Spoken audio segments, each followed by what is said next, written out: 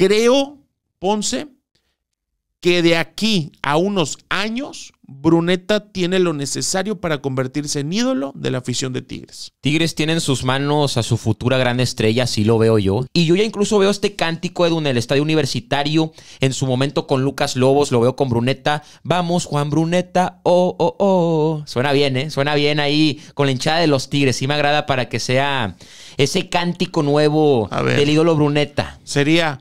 Vamos, Juan, Bruneta. Oh oh, oh, oh, Suena bien, ¿no? Vamos, Juan Bruneta. Oh, oh, oh, Me gusta, ¿eh? Sí, suena bien, ¿eh? Me agrada. Me imagino un gol de tiro libre al Monterrey, minuto 90. Lo gana Tigres 1 por 0 y Juan Bruneta. Vamos, Juan Bruneta. oh, oh.